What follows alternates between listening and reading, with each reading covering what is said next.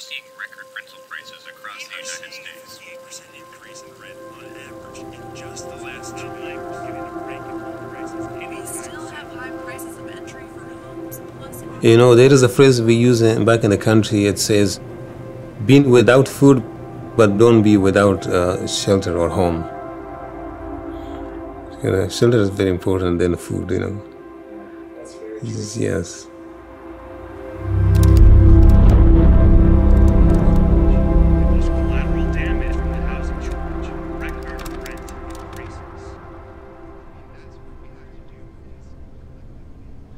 Uh, my name is Fazal Rabi.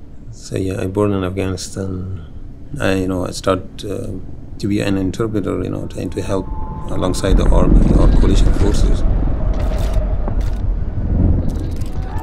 And that's why you know I got selected as one of the uh, special immigrant to come here to United States just to uh, to be safe. At least have a, hope for my kids to have a bright future. When I was 15, my mother passed away. And then a year later, at the age of 16, I entered the American foster care system. It became a challenge navigating where I could see us home. I've pulled myself out of some pretty bad spots. But one thing I couldn't get around was the fact that I needed housing and what I was making was just not cutting it. I got a job, and one of the team members was telling me that don't be surprised when you get your first, you know, check, you know. Because no matter how hard I was working, I couldn't afford sometime, you know, you know, working, working as much as you can work, you know, like three jobs. In college, I would do evening classes and then I would work during the day, Monday through Friday, and then I would do my second job 16 hours every weekend because I did not know where I was going to end up. There was one time like I didn't see my son for a week with the same house, you know. Especially that was the first two years. Imagine, you know, you do whatever for your kids and you don't get to see your kids and your kids like can't see my dad. It was really hard. You think about basic human needs food, clothing, and shelter, right? We're talking about shelter. How can a family grow and prosper if they don't have a home that they can afford in a decent neighborhood? It's foundational for, for family growth. In the past several years, the situation has become more urgent than we've seen even 10 years ago. There are so many American families that don't have enough income to afford rental housing, much less transition to home ownership. Half of the renters in this country are what we call cost burdened. They are paying more than 30% of their income for housing. It has implications for people's lives, it has implications for where they work, whether they can afford to be in a market because uh, they can't afford the rents there. It has implications for how their children live.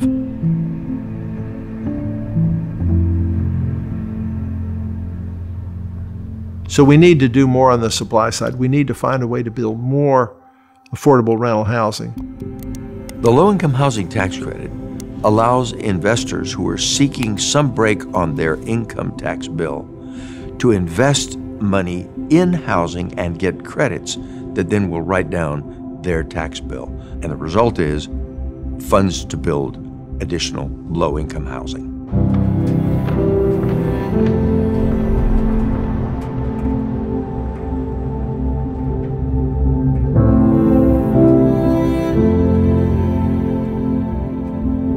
Now I know that uh, I can enjoy the life, you know, being with the kids. Still working, but come home. And when I have time, we work together with them. So that's how we build this. You know, we want to make sure that they progress in their studies, so uh, they can have a good uh, future and a brighter future. And so we both try and add to the supply, and then we provide more money on the demand side.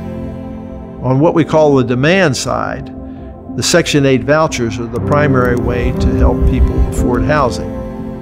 Vouchers are a way for a resident to get into an apartment that costs more than what they can afford with their 30% of budget allocated to housing. The voucher program changes the trajectory of our futures.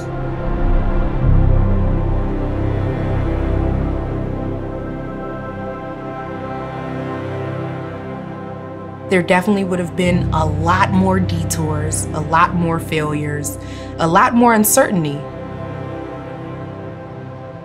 I am currently searching for houses, but my goal is by the end of the year to be a homeowner.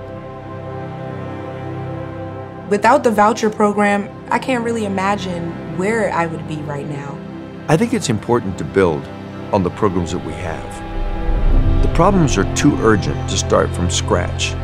First off, I think housing is a nonpartisan issue, but I certainly believe that the bipartisan approach to solving it is what needs to happen.